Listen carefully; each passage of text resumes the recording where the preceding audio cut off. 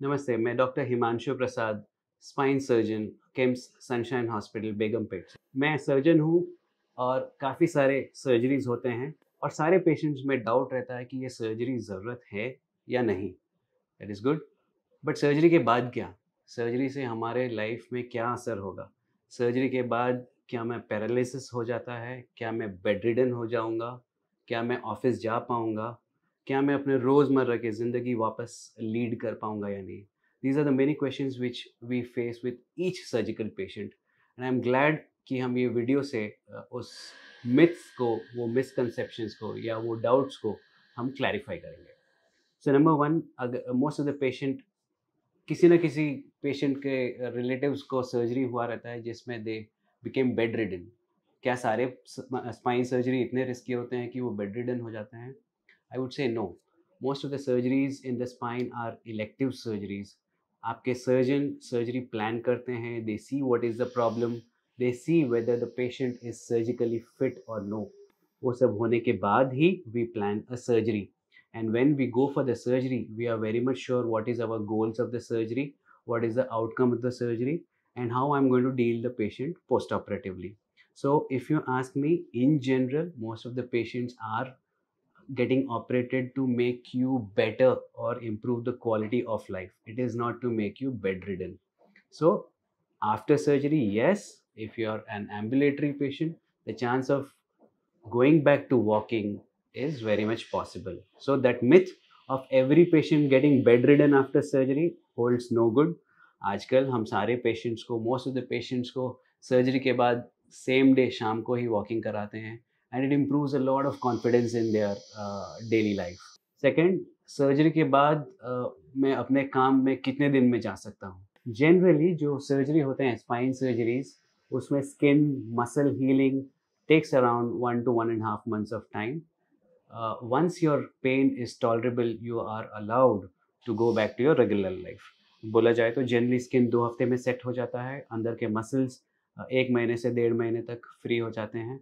And आपका pain day by day कम होते जाता है। सो so, जब आप पेन टॉलरेट कर पाते हैं या when you are able to walk across you are allowed to go back to your work provided your work is not heavy is not vigorous your sitting jobs generally start early for those people जिनका heavy weight lifting का काम है या field uh, work का काम है उनके लिए हम थोड़ा डिलेड रखते हैं because the muscles have to be worked up उसमें फिजियोथेरेपी लगता है एक्सरसाइज लगता है और एक टाइप ऑफ़ रिहेबिलिटेशन भी लगता है सो so, वैसे हैवी मैनुअल वर्कर्स या हैवी फ़ील्ड वर्कर्स के लिए हम डिलेड uh, जॉब कहते हैं to go back to job little late but जो भी desk job type of personalities है they can get back to your life get back to work very early, as early as probably a month also. Point number three, my kid is getting operated.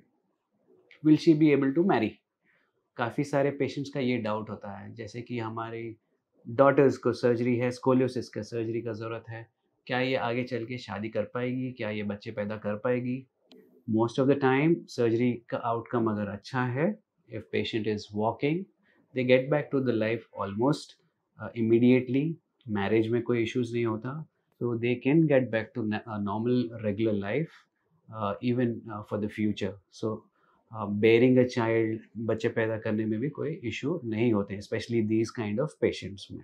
Point number four in general I would like to explain post of protocol क्या है।